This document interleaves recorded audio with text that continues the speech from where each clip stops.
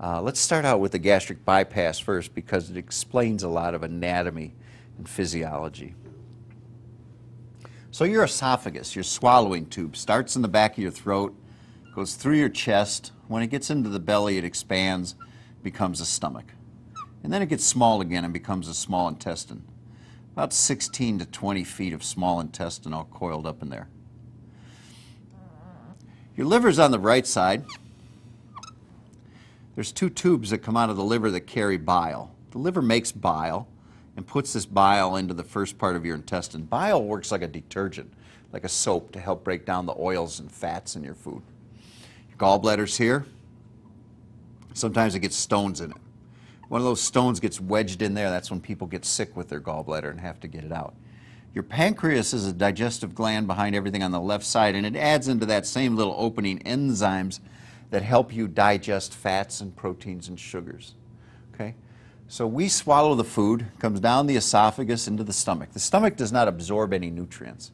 Stomach's just a storage bag, lets us eat as fast as we can shovel it in and then run in case something bigger wants our food, I guess. There's a muscle at the bottom called the pylorus. It's like a muscular ring or a donut. It squeezes the bottom of the stomach closed. And normally it's closed. If you look in there with a scope, it just looks like a little pinpoint. A couple times a minute, that muscle will relax, let out about a tablespoon of food, and then squeeze down again. Has its own rhythm. And that rhythm is determined by how much fat and sugars in the food. Little sensors in this area. So that little bit of food comes out, mixes with the bile and the pancreas enzymes, and that chemically starts digestion then as the food moves through your small intestine, the nutrients are absorbed into your bloodstream through the microscopic blood vessels that line the wall of the intestine.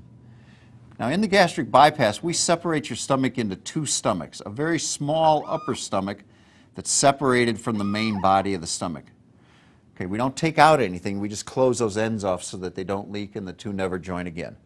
We measure from the beginning of the intestine down about one foot, and then we divide this like we're cutting this 16-foot hose at one foot. We take the far end, the end that would keep going, and we bring it up to here so that that X ends up up there. So I'm going to bring this end up like this.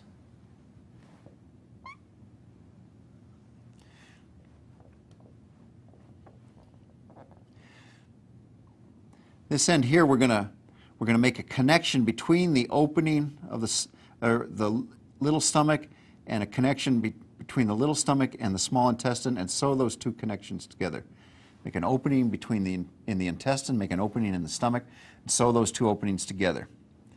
We're going to make a connection down here. Okay?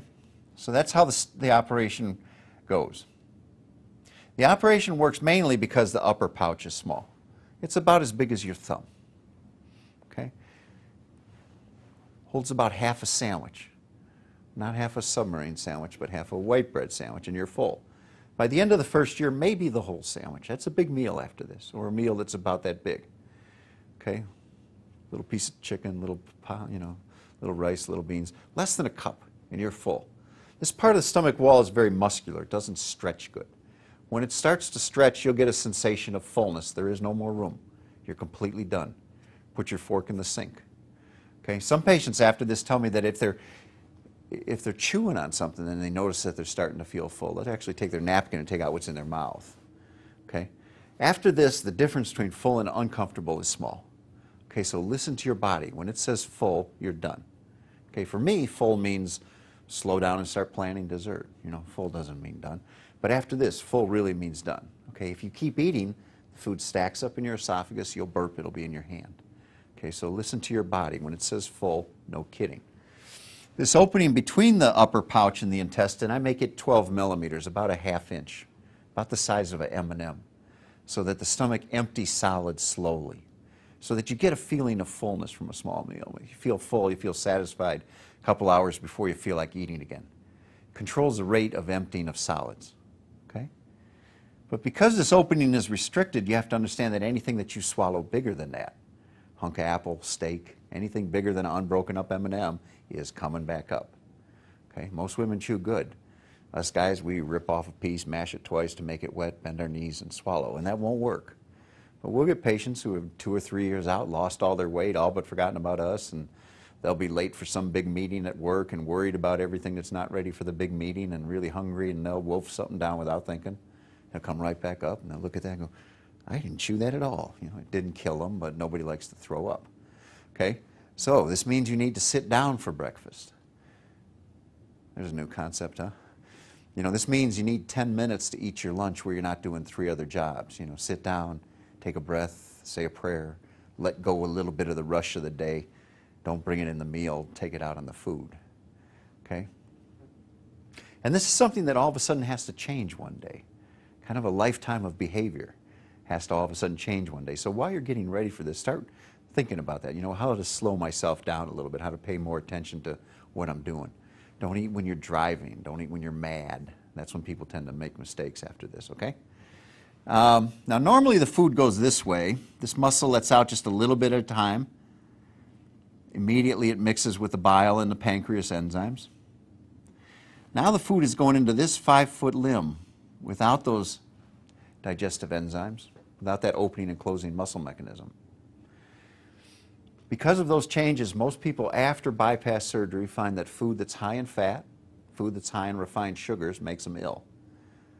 Things we would call sweets or greasy foods upset their stomach. The high fat, high sugar foods irritate this first limb of the intestine. Okay?